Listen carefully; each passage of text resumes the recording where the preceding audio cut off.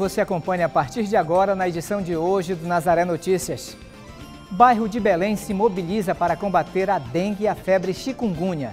Receita Federal tem novas regras para declarações do imposto de renda. Hospital Betina Ferro cadastra pacientes para cirurgia de implante coclear. Celebração lembra 10 anos da morte de irmã Dorothy Steng. Fazer refeições com frequência fora de casa pode pesar no bolso. Paysandu festeja centenário com homenagem ao jogador Quarentinha. E na entrevista de hoje vamos falar sobre a epilepsia e o tratamento. Hoje é segunda-feira, 9 de fevereiro, Nazaré Notícias já está no ar.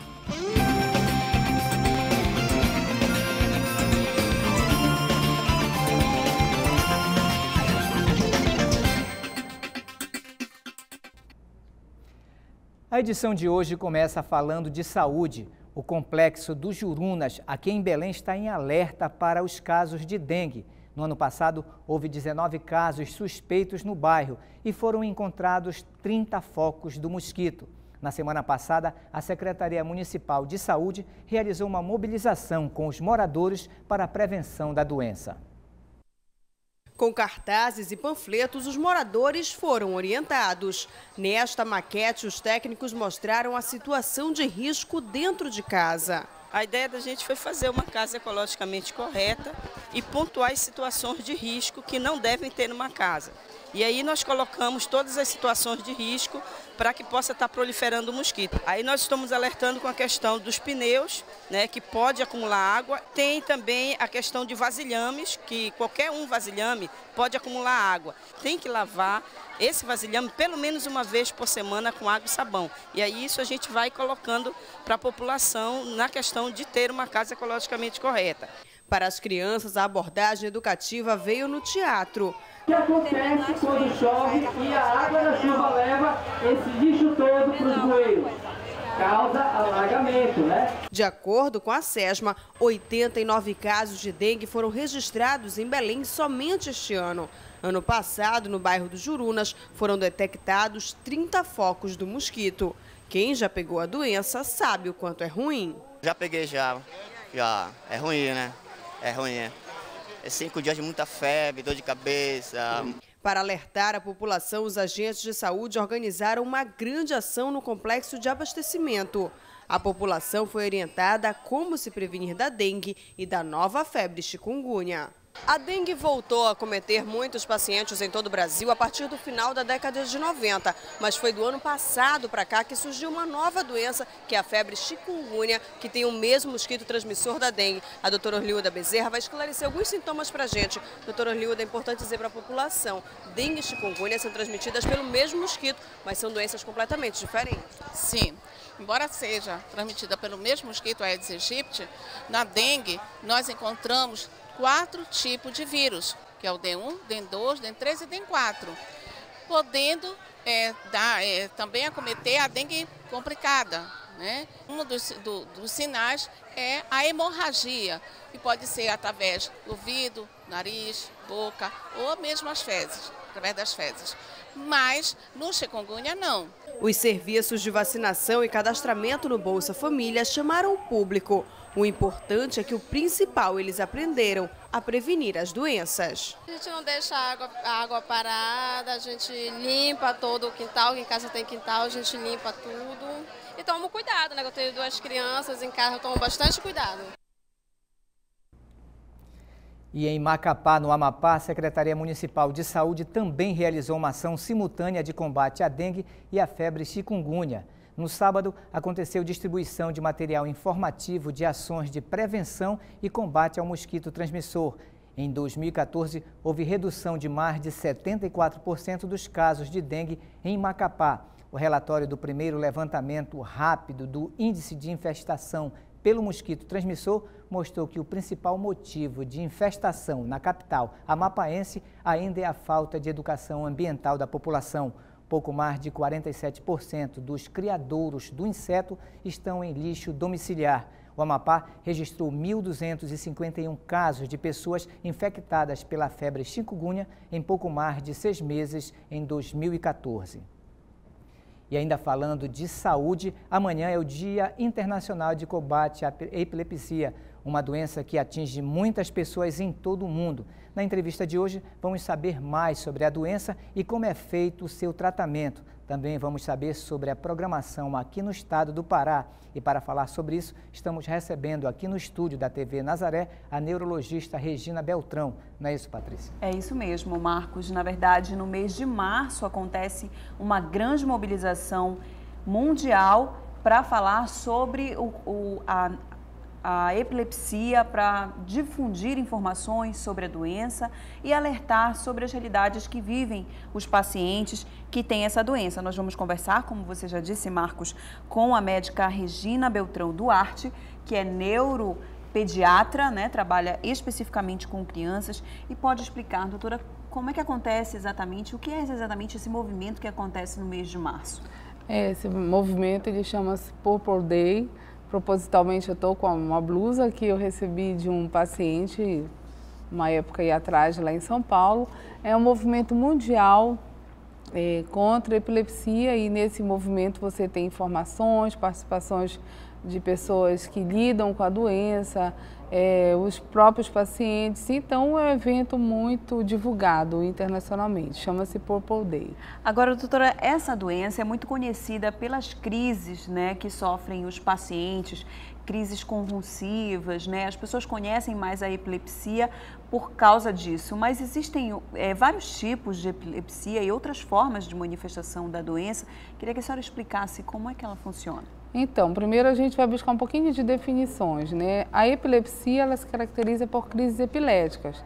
E por que que acontece a epilepsia? Ou por que que acontece a crise epilética? Porque você tem uma manifestação excessiva de um grupo de células neuronais ou de vários é, de várias partes do cérebro em decorrente de vários insultos. Esses insultos podem ser tanto de origem genética quanto na fase neonatal, quanto na fase adquirida. Então, você tem vários é, fatores etiológicos que determinam as crises epiléticas. Quando essas crises epiléticas recorrem, né, elas são, constituem a epilepsia.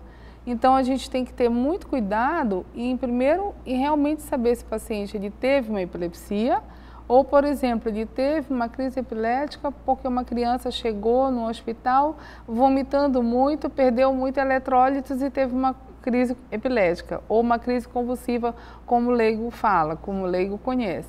Então, a gente tem que ter muito em mente essa definição.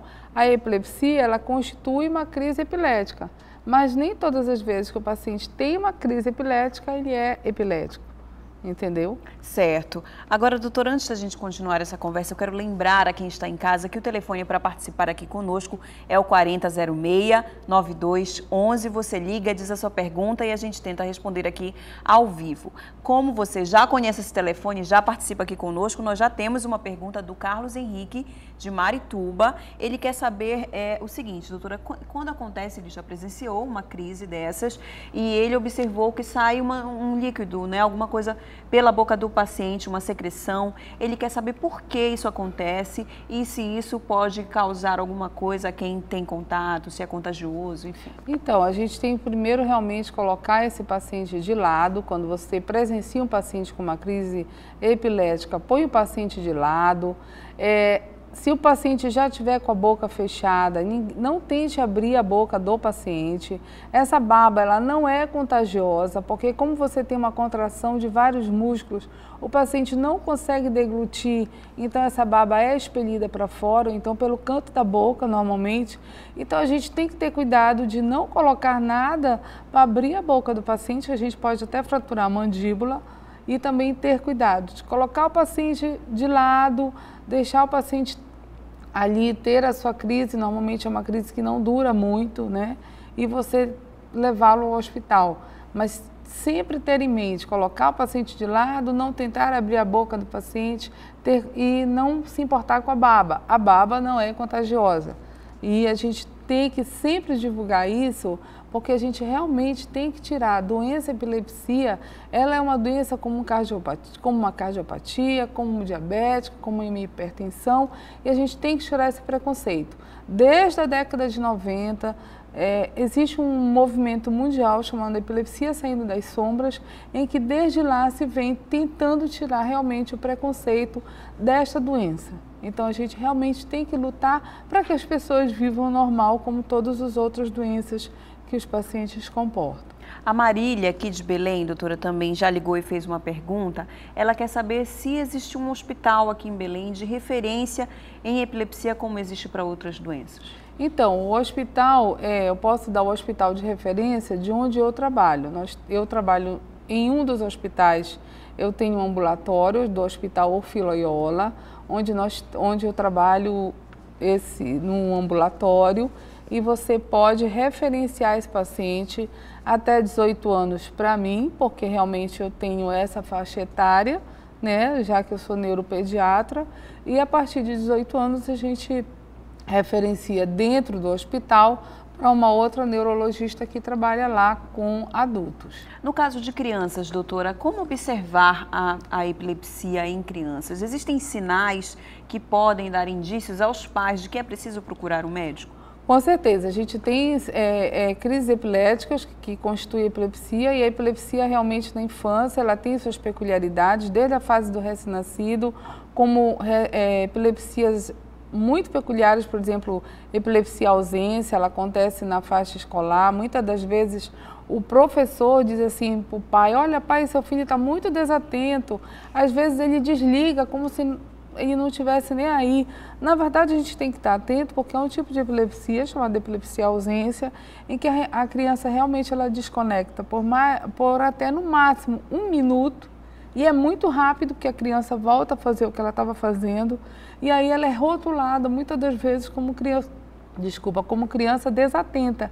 E aí você tem que ter cuidado, que a gente pode estar diante de uma epilepsia ausência e a criança está tendo o seu prejuízo cognitivo, seu prejuízo acadêmico, e essa criança precisa realmente ser é, detectada e precisa ser tratada. Como o na próprio... grande maioria das vezes você tem uma eficácia no tratamento. O próprio pediatra pode identificar isso? Doutor? Pode, o tratamento, o, o tratamento da epilepsia ele é clínico.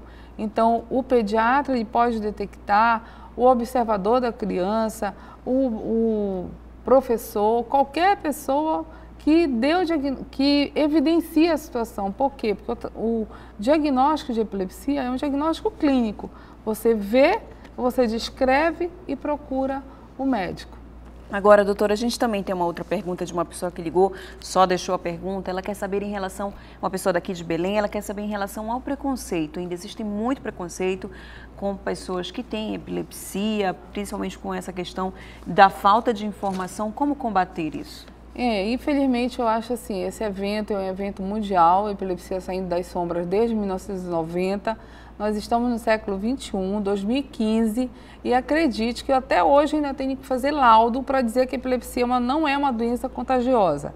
Então, realmente precisa de muita informação e sempre ter em mente que não é uma doença contagiosa. E, a gente, e eu realmente eu falo muito para meus pacientes, tanto eu atendo muitos pacientes hoje que foram meus pacientes crianças, adolescentes, estão adultos hoje, não querem sair né, do, meu lado, já traz os seus filhinhos para eu examinar e eu sempre digo, olha, você tem que tomar seu remédio como o paciente hipertenso toma, como o paciente diabético toma. Então, por que esse preconceito só em cima do epilético? A gente sabe que tem história, né? Ah, na Grécia antiga, o paciente era, por exemplo, queimado vivo.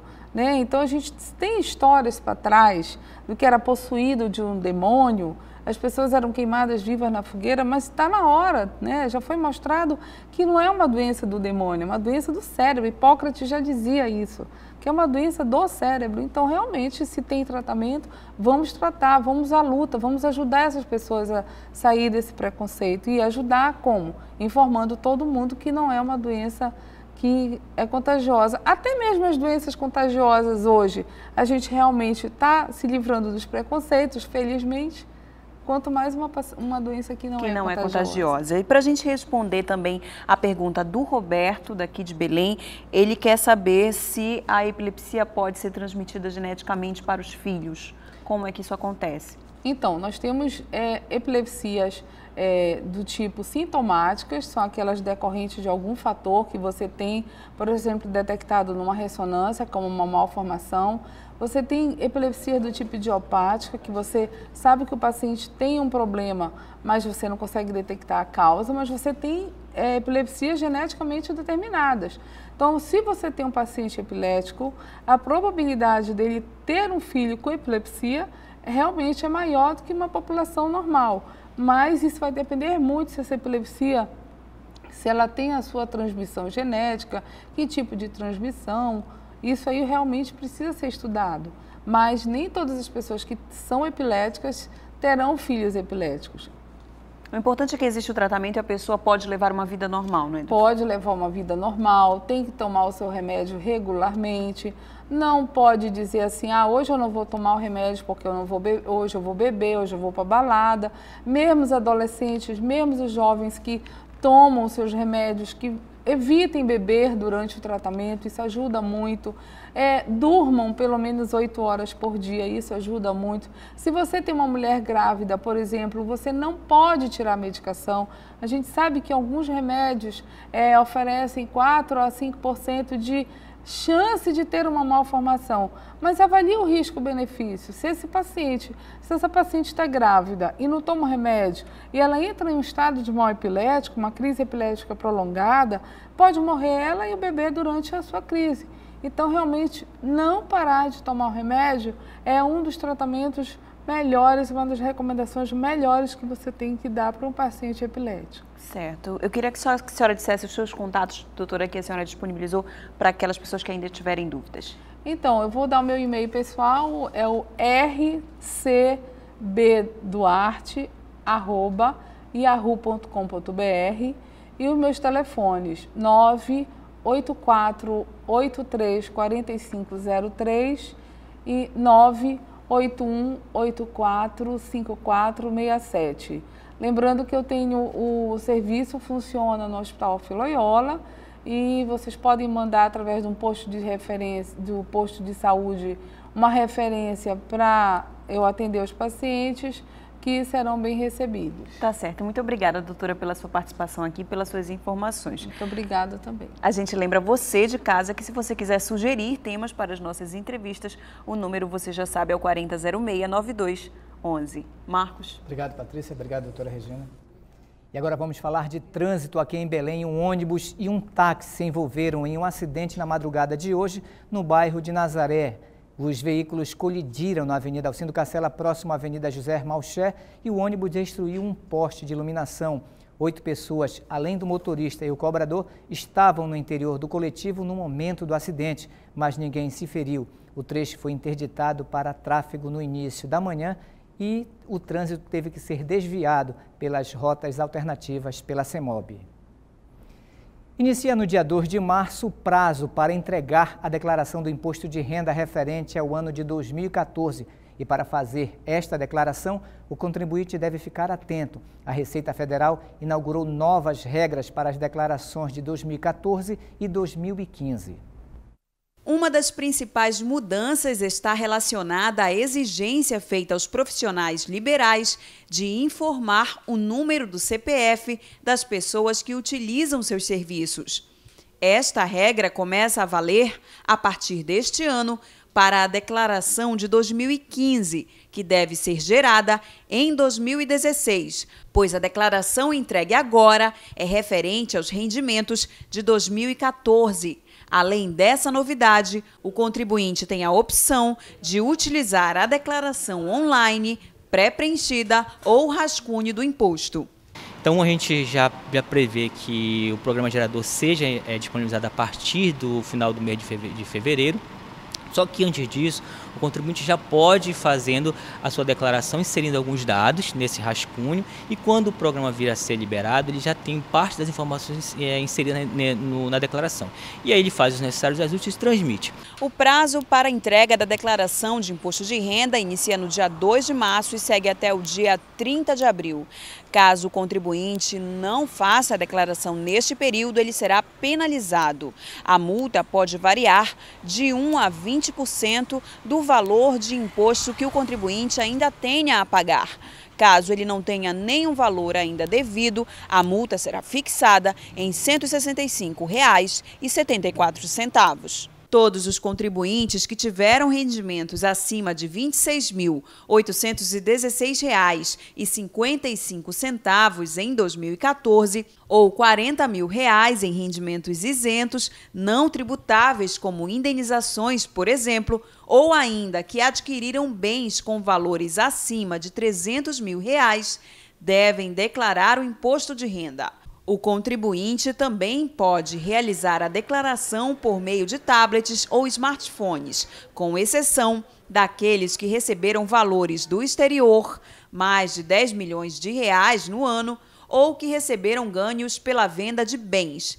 Esses não podem utilizar aplicativos móveis para fazer a declaração. Antes de ser um, um dever cívico, né, que a gente faz essa referência também, é claro, é um dever normativa, um dever tributário de prestar contas, que é, comumente as pessoas jurídicas já fazem há algum tempo, as pessoas físicas também são exigidas, que são a declaração de ajuste anual.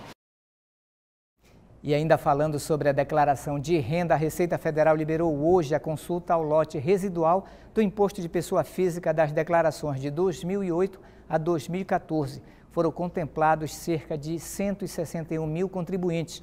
A relação destes contribuintes está disponível na página da Receita Federal na internet. A consulta também pode ser feita pelo telefone 146 ou nos aplicativos da Receita Federal. E ainda falando sobre a Receita, que suspendeu 9.628 CPFs no estado do Pará. Os documentos apresentavam irregularidades e foram suspensos pela Coordenação Geral de Gestão de Cadastro da Receita. Em todo o país, a quantidade de CPFs suspensos chegou a 319.475. As pessoas que tiveram o documento suspenso poderão se regularizar pela internet através do site da Receita Federal ou nos Correios, Caixa Econômica e Banco do Brasil. Para regularizar o CPF, é preciso apresentar o título de eleitor válido. Quem não estiver em dia com a Justiça Eleitoral precisa resolver primeiro a pendência para poder validar o documento. E agora vamos falar de trânsito. Quase 100 condutores foram flagrados dirigindo sob efeito de álcool durante mais uma operação da Lei Seca aqui em Belém neste final de semana. Na última sexta-feira, 24 pontos foram fiscalizados na capital. A ação encerrou em Ananindeua e Marituba, na região metropolitana. De acordo com o balanço, foram 384 autuações, 90 relacionados a condutores que dirigiam alcoolizados. A operação integra também é, visou prevenir e combater crimes como roubo, furtos e o comércio ilegal de drogas. Em 2013, 45 pessoas morreram em acidentes de trânsito envolvendo motoristas alcoolizados e em 2014 esse número aumentou para 65 em todo o estado do Pará. O Hospital Universitário Betina Ferro, aqui em Belém, está cadastrando pacientes para cirurgia de implante coclear. Os candidatos precisam ser encaminhados por uma unidade de saúde do SUS. Quem tem mais informações é Larissa Cristina. Marcos, o Hospital Betina é o único aqui da região norte a realizar o implante coclear. De 2010 a 2014, o hospital já realizou mais de 40 procedimentos desse tipo. Doutor Cláudio, primeiro a gente tem que entender o seguinte, o implante coclear é uma cirurgia considerada de alta complexidade pelo SUS, por isso que não é feito em qualquer hospital. Qual é, é a importância desse procedimento? Nós temos que ter em mente que quando você perde a audição, você perde um, um meio de se comunicar com o mundo. E o implante coclear veio justamente substituir ou veio acrescentar essa possibilidade àqueles que perderam a audição por algum motivo ou, já nasceram sem audição. É claro que existem alguns critérios, não é para todo mundo que o implante coclear pode ser realizado, mas existem grandes possibilidades em muito grupo de pessoas que nem sabem que aqui se faz esse implante coclear. E é isso que nós queremos divulgar, para que as pessoas saibam que existe essa possibilidade. E vão passar por uma triagem para saber se pode, do seu caso, ser implantado ou não. O que a gente tem que entender é que são pessoas que por algum motivo já utilizam o aparelho auditivo, essas pessoas também podem fazer a cirurgia. É, exatamente. É, a gente tem que ter em mente que são pessoas que já tentaram ou usam o aparelho auditivo e o aparelho auditivo não está sendo satisfatório nem suficiente para conseguir se comunicar. Aí essas pessoas que já têm alguma linguagem, elas poderão ser beneficiadas com o implante coclear. Como é que é feito esse cadastramento, doutor? É só para as pessoas que moram em Belém ou também que estão espalhadas por toda a região norte? Não, pode vir do interior, só que aí tem o TFD. O TFD, que é o tratamento fora de domicílio, ele vem referendado para cá, para o Betina, trazendo o seu cartão SUS, uma cópia do seu RG, uma cópia do seu, do seu CPF e mais o comprovante de residência. E aí ele vai se cadastrar e vai ser então habilitado a participar desse grupo de possíveis implantados. Existe um prazo, doutor? Por exemplo, o paciente chegou nesta semana, fez o seu cadastramento, o processo de avaliação até a cirurgia pode demorar quanto tempo? É, isso é muito variável, porque ele precisa de alguns exames. Até mesmo um exame de ressonância magnética é necessário. Então, de acordo com o fluxo de pacientes é que pode demorar mais ou menos para realizar esses exames. São os exames pré-operatórios, depois de ele estar dentro do padrão apto, então esses exames, estando realizados, a gente pode considerar a realização do implante. A intenção nossa é que a gente possa fazer até um por semana, se a gente tiver uma demanda é, suficiente para isso.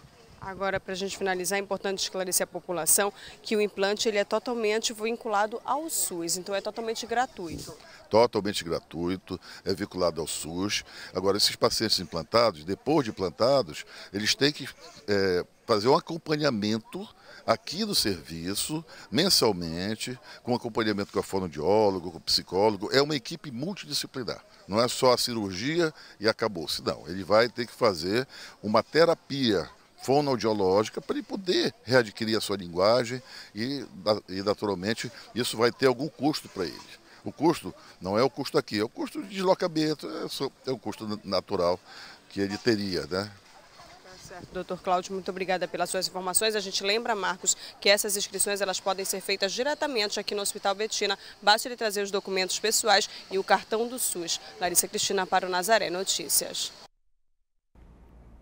E agora vamos falar sobre educação.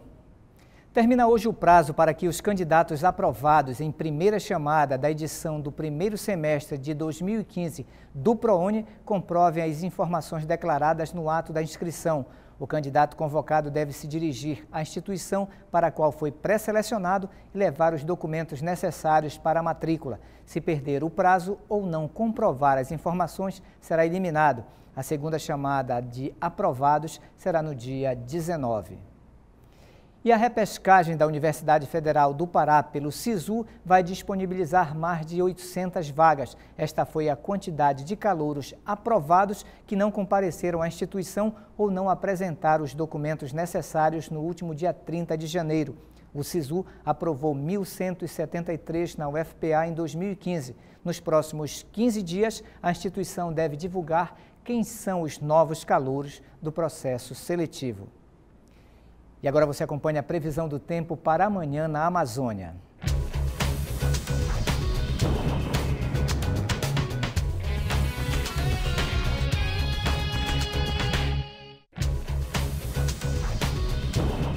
Na capital paraense, o tempo será nublado e com chuva. A temperatura mínima será de 21 e a máxima de 32 graus.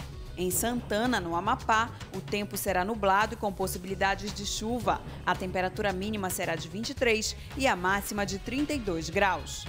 E em São Luís, no Maranhão, o tempo será nublado e a temperatura mínima é de 25 e a máxima de 32.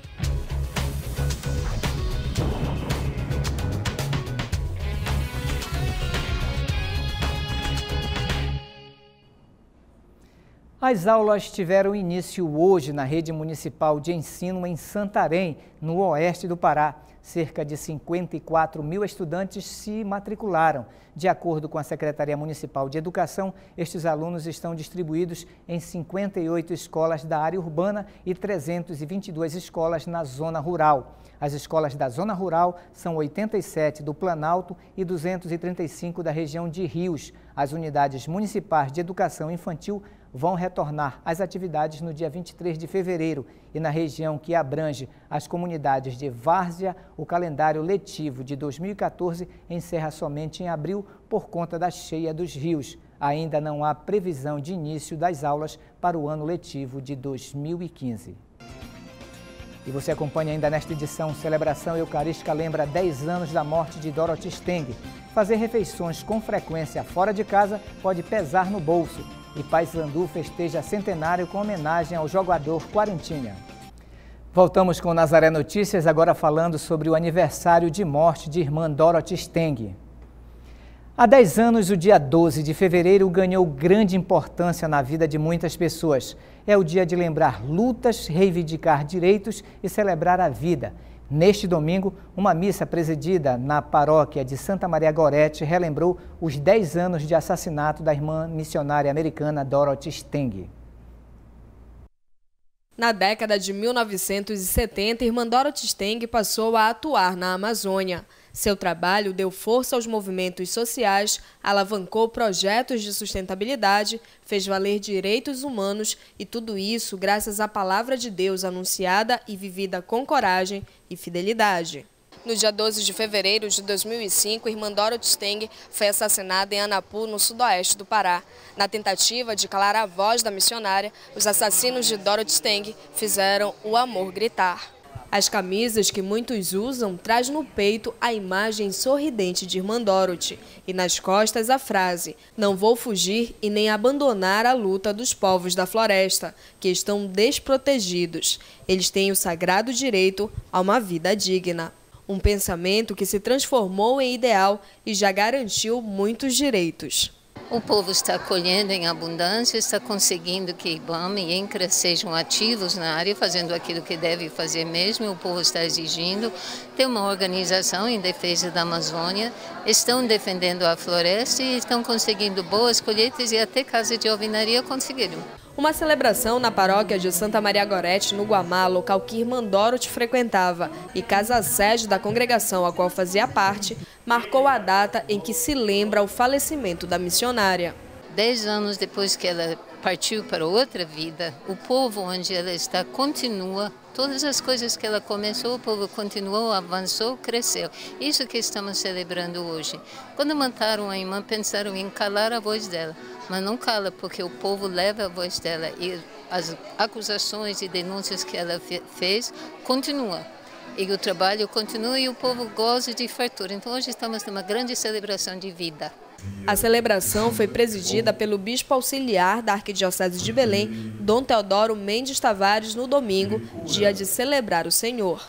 Por ser domingo, celebramos o dia do Senhor e Cristo é o mártir por excelência ele sendo inocente também foi e, condenado, crucificado e morto. E, então, domingo, nós celebramos o dia da ressurreição do Senhor e na Páscoa de Cristo nós celebramos a Páscoa de todos os nossos irmãos e irmãs que já faleceram. A celebração em memória de irmã Dorothy Steng relembrou também todos aqueles que sofrem. A irmã Dorothy de saudosa memória, foi uma grande missionária que, justamente porque seguiu Jesus Cristo, foi fiel e à missão que recebeu e foi também vítima e, da violência. Lembrá-la hoje significa fazer memória de uma pessoa que também e, nos deixou exemplo de fidelidade, e de luta pela justiça, pela paz, pelos valores do reino. O momento não falou da morte que cala, mas da vida que se perpetua. Vamos celebrar a vida. Durante a celebração foi apresentada a cruz, marca da congregação da qual Irmã Dorothy fazia parte e sinal de sua fidelidade a Deus e a Bíblia, que a missionária sempre carregava consigo e dentro da qual estavam documentos que afirmavam os direitos dos povos.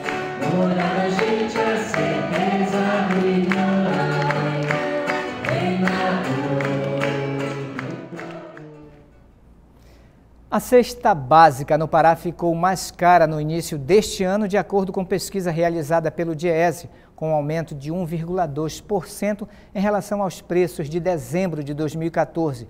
O valor da cesta básica no início de 2015 ficou em mais de 310 reais aqui na capital paraense. Os produtos que apresentaram os maiores reajustes foram o feijão, arroz e o tomate. O pão e a carne bovina também apresentaram alta significativa. Concurso público está aberto até o dia 11 de fevereiro, o período de inscrição do concurso público do Ministério Público da União. Há 25 vagas para analista e técnico, como também para a formação de cadastro de reserva. Larissa Cristina tem mais informações.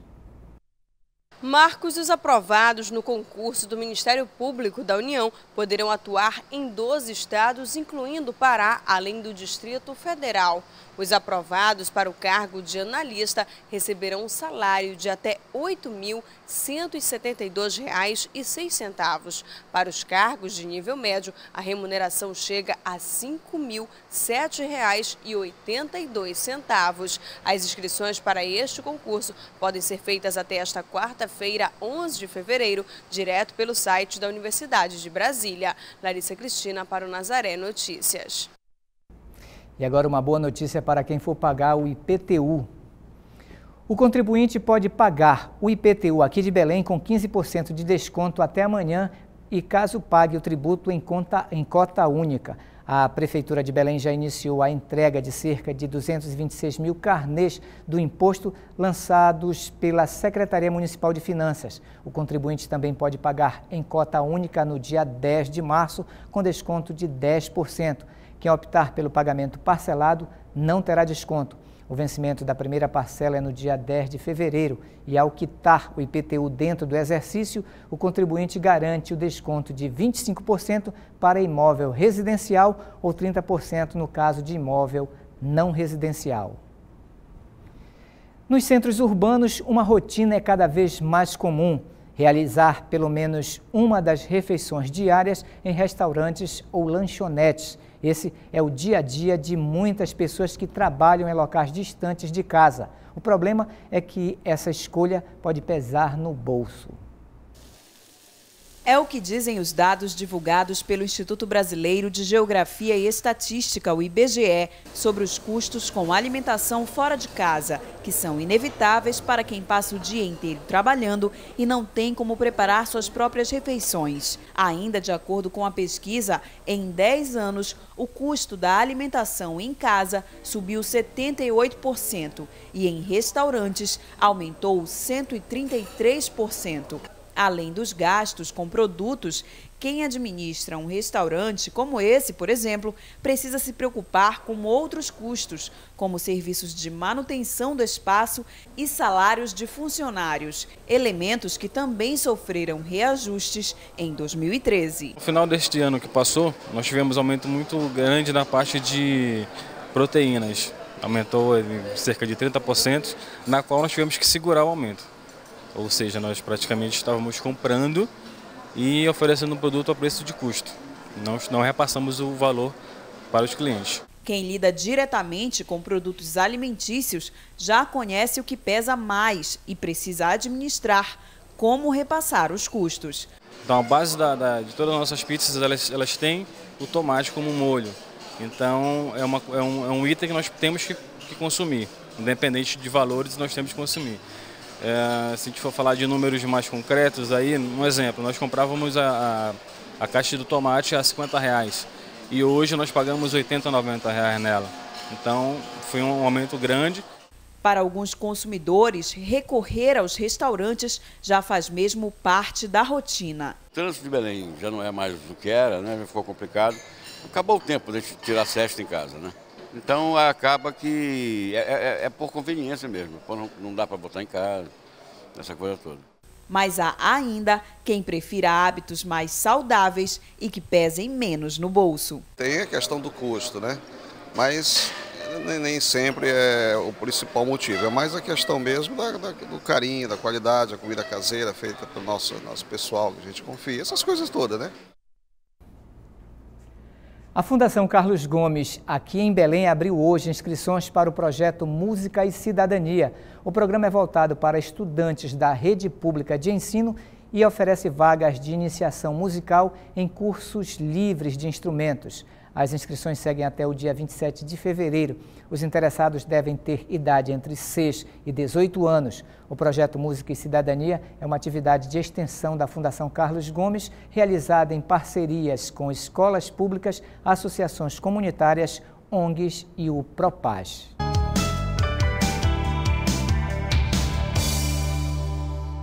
Bem, a minha primeira dica é um livro de um escritor gaúcho chamado João Gilberto Noll que escreveu O Hotel Atlântico, que também é um livro de estrada, é um livro que influenciou muito a mim para escrever o meu primeiro romance. Um livro muito fácil de achar, foi lançado pela Companhia das Letras, João Gilberto Noll, ele ficou muito ele ficou consagrado depois de principalmente com esse livro Hotel Atlântico. Ele é autor de um dos de um conto que entrou no 100 melhor, na antologia dos 100 melhores contos brasileiros, que é o Alguma coisa urgentemente. É um ator que resolve ver um crime num hotel em Copacabana e resolve pegar a estrada para voltar para casa pra, em, em, Porto Alegre. Assim. É um livro na estrada do Sudeste até o Sul, uma viagem bacana pelo Brasil ali. Uma viagem muito bacana do João Gilberto Noll com seu Hotel Atlântico.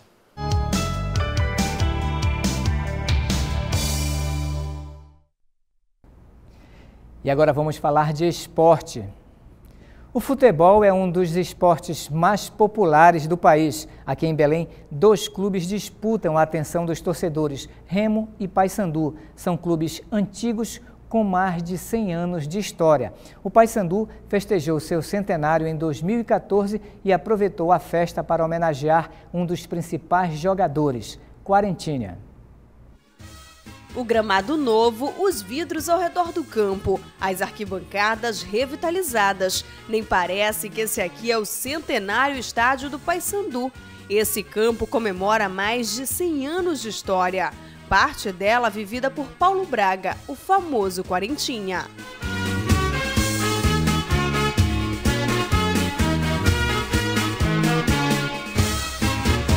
Aos 80 anos de idade, ele não esconde o amor pelo eterno time. Paysandu é, para mim, como é para milhares de milhões de torcedores. Às vezes não adianta você ter muito mais e ser menor. Nós podemos ter menos torcedor, mas somos muito maiores em feitos e conquistas. Foram 18 anos dedicados ao Paysandu, 12 títulos conquistados. É considerado um dos mais completos jogadores da história do futebol paraense. O dia era 9 de abril do ano de 1955. Foi quando a história de Quarentinha com o Paysandu começou. Já se passaram 60 anos e o amor por esse time continua. Eu cheguei aqui, era o sábado da Aleluia, 9 de abril de 55, sábado chuvoso, mas como eu estava acostumado no campo suburbano, vim de meio de rua, chovia, a gente pegava a bola, corria para a rua para jogar, passamos a ter jogador daquela época habilidade para desenvolver atividade dentro de qualquer condição de gramado, porque éramos da terra acostumados ao tempo e à intempérie. E eu cheguei aqui um sábado chuvoso, e eu treinei os 90 minutos e logo que terminou o diretor Elógio Branco Carril, chegou comigo e disse, garoto, você joga onde? Tem alguma inscrição? Eu digo, olha, eu tenho uma inscrição de amador do clube do disse, não, assina aqui que depois eu trato dessa transferência. E de fato tinha ali na, pelo portão principal do Almirante Barroso uma, uma, uma borboleta, era da, lá mesmo eu assinei a ficha de inscrição. E essa ficha de inscrição que eu assinei ali, no dia 9 de abril, do dia que eu treinei aqui, me levou até o dia 9 de abril de 73, quando encerrei a atividade. Hoje, como sócio benemérito, um fiel bicolor, ele não falta um jogo. Quando recorda o passado, lembra quando os jogadores não tiravam férias e dividiam o campo com a profissão. Por exemplo, a parte física nossa aqui no Paysandu, nós fazíamos de 5 horas da manhã até 6 e, 6 e meia. 6 e meia nós passamos ao refeitório, do refeitório, aí nós íamos para o serviço, do serviço para casa, de casa nós retomávamos ao campo à tarde, os treinamentos iniciados de quatro horas em diante. Então nós tínhamos uma atividade que conciliava as duas partes sem prejuízo de nenhuma. Isso eu consegui, nós conseguimos, até quando encerramos nossa atividade. Eu sou funcionário público estadual, sou perito policial aposentado pela Secretaria de Segurança Pública, desempenhamos sem prejuízo de nenhuma e outra. não sou eu, mas de todos aqueles que tiveram a sua atividade naquele, nesse período que estamos citando. Como meia atacante, fez parte do jogo histórico em que o Paysandu venceu o Penharol por 3 a 0. Do alto dos seus 1,58m, imortalizou a camisa 10 do Papão e foi homenageado pelo clube com uma estátua de bronze onde jamais deixará de estar, no estádio da Curuzu.